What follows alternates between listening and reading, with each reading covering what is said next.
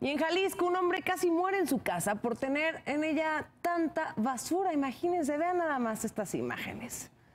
Se trata evidentemente de un acumulador compulsivo.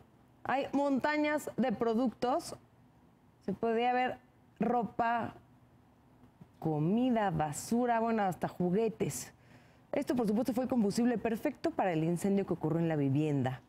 Afortunadamente los rescatistas llegaron al domicilio a tiempo, ubicado en la colonia de Lomas de Polanco, y lograron rescatarlo.